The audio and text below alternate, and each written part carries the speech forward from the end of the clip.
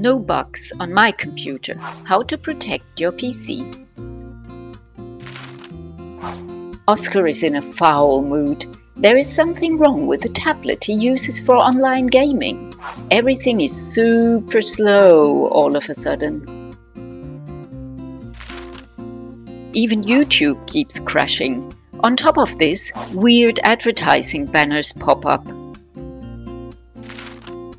What's going on? Suddenly there's a really scary message. You have been hacked. Pay 1 million euros to get your data back.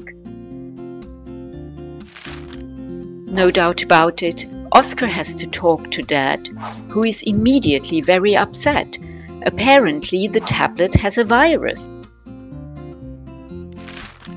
Just as people can get an infection, the same thing can happen to computers.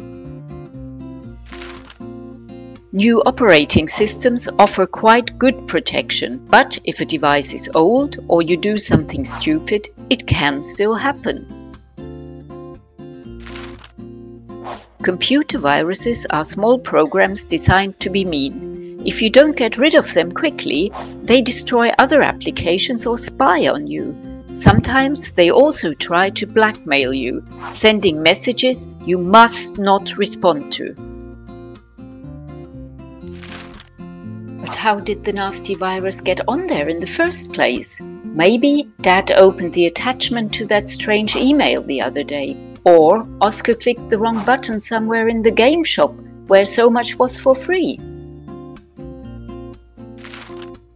It's also possible that the virus got on the tablet through a public Wi-Fi, the one at the Laser Tag Center for example, and yesterday, Bluetooth was on all the time while Oscar was gaming with the neighbors because he wanted to share assets. It is quite possible that the tablet has been infected during data transfer. Fortunately, Dad finds the culprits with a virus scanner and erases them.